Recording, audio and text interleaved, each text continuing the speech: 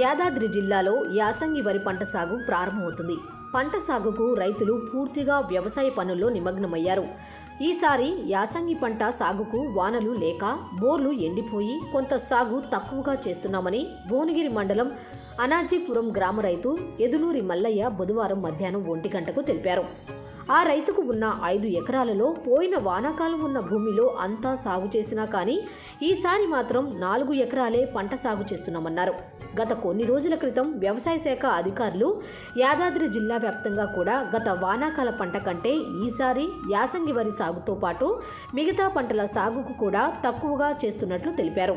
దీనితో కూలీ చేసుకునే వ్యవసాయ కూలీలతో పాటు రైతులకు కూడా కొంత పని భారం తగ్గి ఆర్థికంగా వెనుకబడే పరిస్థితి నెలకొనే అవకాశం ఉందన్నారు.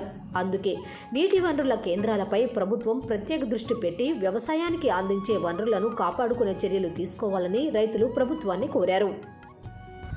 నా నా పేరు ఎదునూరి మల్లేశ. మాది గ్రామం అనంతపురం మండలం భువనగిరి జిల్లా యాదాద్రి భువనగిరి.